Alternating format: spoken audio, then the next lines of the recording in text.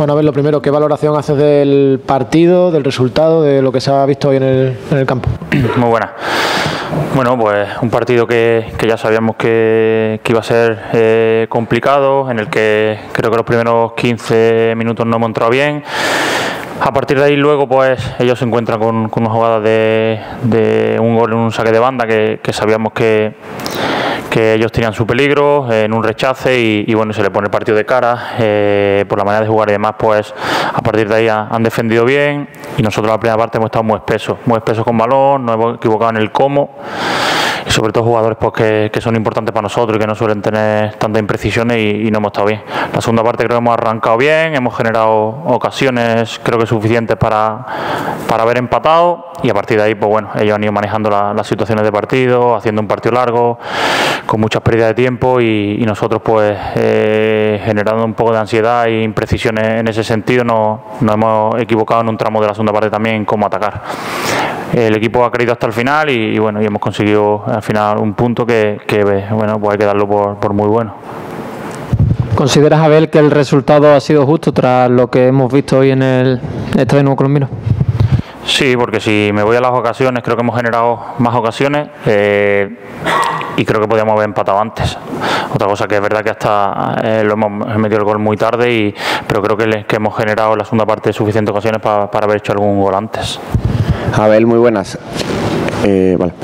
¿Qué es lo que ha ocurrido que crees que para ver la primera mitad que hemos visto, en la que el San Roque ha superado totalmente al regreso, todo en ese centro del campo, con Joel y Charaf muy cómodo, ganando prácticamente todas las acciones? Pues que hemos tenido muchas pérdidas por dentro y lo que te decía, jugadores que para nosotros son, son importantes en circulación y demás, pues no, no han estado con esa lucidez. Eh, creo que hemos perdido bastantes balones por dentro, ellos nos cerraban muy bien, sabíamos que, ellos con la línea 5 y los 4 por delante era muy, muy difícil en ese aspecto, ellos querían robar para salir rápido con Jacobo y con Pablo Aro y, nos ha costado en eso. Eh, creo que teníamos que haber circulado mucho más rápido, haber buscado muchas más rupturas de las que hemos buscado, jugar menos al pie. Y bueno, en ese sentido la segunda parte hemos intentado corregirlo en el descanso, creo que, que hemos empezado bastante bien, le hemos generado más amplitud también porque Peter pues estaba jugando demasiado dentro y bueno, hemos intentado abrir el campo en ese sentido y, y, hemos tenido un tramo en la segunda parte pues en ese aspecto mucho mejor. A ver, hoy me han, me han, llamado la atención dos cosas. La primera es cómo le ha afectado el, el, gol al equipo, porque creo que el San Roque mete cuando mejor está el, el, en un momento en el que estaba eh, achuchando más y llegando con más claridad por lo menos al área, sin crear ocasiones muy claras, excepto la de Peter, pero superando al San Roque, ¿no? Y a partir de ese momento se desconecta de todas esas cosas que estaba haciendo bien. Y la segunda es la falta de respuesta ante eso tú que acabas de comentar, que es lo que ha, lo que ha propuesto hoy el San Roque. No ha habido una capacidad para cambiar eso para intentar darle una vuelta. He visto, he visto jugadores muy quietos, sin balón, muy poca movilidad. Es muy difícil superar a un equipo que te plantea una línea de tres centrales, que acumula gente en el medio sin mover la pelota rápido. Sí, por eso te decía que, que bueno, es verdad que, que, ellos meten el gol justo después prácticamente de la ocasión de Peter, que es una ocasión muy clara, un mano a mano con el portero y, y que nos podíamos haber puesto por delante. Y, y, lo que tú dices, a raíz del gol, creo que, que hemos estado muy espesos, sobre todo en circulación, no encontramos rápido a, a los de fuera y, y, bueno, y la segunda parte, pues muchos tramos nos hemos equivocado en querer jugar demasiado por dentro cuando había situaciones de espalda que, que no podíamos y ellos pues provocaban que, que hubiera mucho robo en ese sentido. Eh, creo que cuando mejor lo hemos hecho, que ha sido llevando fuera, sacando situaciones de centro, situaciones de áreas cuando hemos generado las ocasiones y, y por eso te digo, eh, la del gol al final viene así, ¿no? En un, en un centro Josema y, y, bueno, y al final pues, como te digo, eh, teníamos que haber buscado mucho más esas situaciones de área. Eh, Abel, eh, no sé si el punto da moral al vestuario, pero la antequera nos saca de nuevo otros dos puntos. ¿Crees que lo mejor para el equipo es quitarse esa presión e intentar crecer olvidando ya la primera plaza?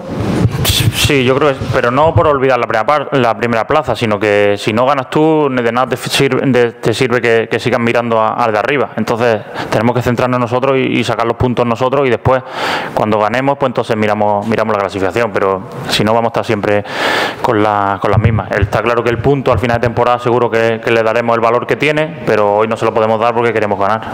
Eh, pero quedan 15 jornadas y el Antequera prácticamente saca casi cinco partidos. ¿Crees que es viable? ¿Es posible llegar a la primera plaza? En el fútbol hemos visto de todos. Eh, hoy, no sé, hay equipos, no sé, que, pueden tener sus su malas rachas, pero como te digo, si, si nosotros al final no puntúas de tres, pues es complicado. Entonces, centrarnos en nosotros y a partir de ahí, pues eh, nos dará para, para poder mirar a los demás.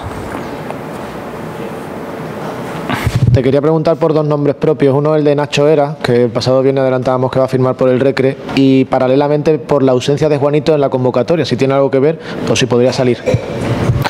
Bueno, son temas de al final que prefiero que, se hable ya cuando la dirección deportiva eh, tenga su momento. Eh, creo que ya bastante tenemos ya como entrenador con lo que tenemos para, para hablar de nombres propios y demás. Es verdad que, son situaciones que, que, se están dando, son días de mercado que, como decía el otro día, a los entrenadores no nos gustan. Estoy deseando que llegue el miércoles, que se acabe el mercado y, tener claro con los que con los que puedo contar.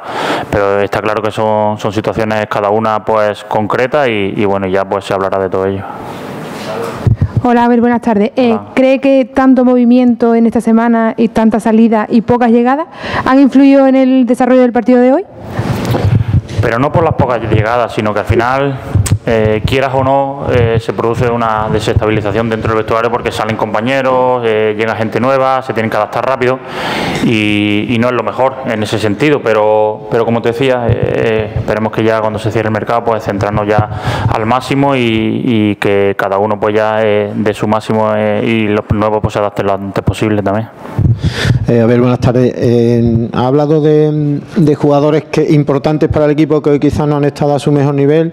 Yo sí puedo particularizar en Adri Arjona, que quizás en Yecla tampoco estuvo bien, pero era un partido muy a contraestilo de sus características, pero hoy se le ha visto espeso, falto de idea, falto de ser ese futbolista que los demás buscan para dar el balón y, ser capaz a partir de ahí generar eh, fútbol. Eh, no sé si le estás viendo eh, quizás en el, en el perfil más bajo, particularmente suyo de la, de la temporada.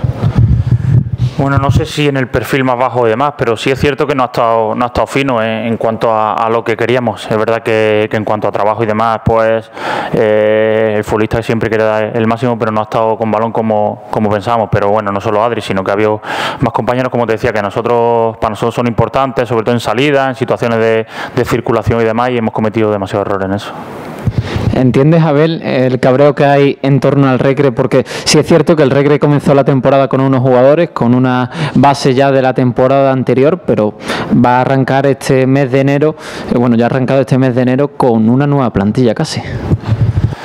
Bueno, eh, eso ya no, no, lo puedo valorar yo, lo que opine el entorno. Al final, nosotros como entrenadores tenemos que, trabajar con, lo que tengamos. Si el club decide que, tienen que venir unos jugadores, salir otros, o jugadores que han pedido salir, ahí ya eh, poco puedo, puedo opinar. Eh, yo te digo lo que, lo que he dicho antes, que sobre todo deseando que termine este mercado y saber con los jugadores que, que vamos a tener para pelear hasta el final.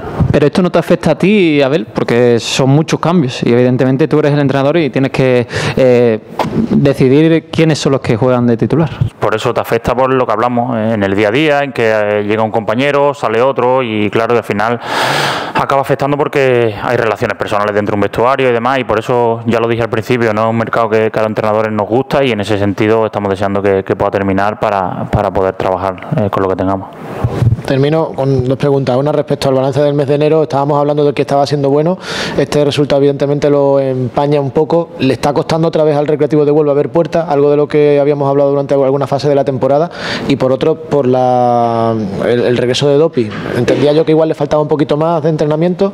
Hoy lo has visto para incluso salir y jugar. Sí, él había entrenado eh, esta semana eh, con el equipo, hablé con él por si lo necesitábamos para 15-20 minutos, él me dijo que estaba perfectamente, con lo cual por eso ha ido convocado y, ha tenido los minutos que tenía. Es verdad que le falta porque tiene que acumular mucho más entrenamiento, pero creía que era un momento importante para darle esos 15-20 minutos y que vaya cogiendo ritmo. Sí, pero hoy, un día como hoy, al final, en el que hemos fallado ocasiones, pues vamos a hablar de la falta de gol. Eh, es verdad que, nosotros, pues al final, necesitamos trabajar en eso. Como te he dicho, ha habido muchas más situaciones que teníamos que haber provocado más, más central área, más situaciones de, finalización, sobre todo, y tenemos que seguir trabajando en eso. Y, a partir de ahora, pues esperemos que tenemos mucho más acierto en ese sentido. gracias.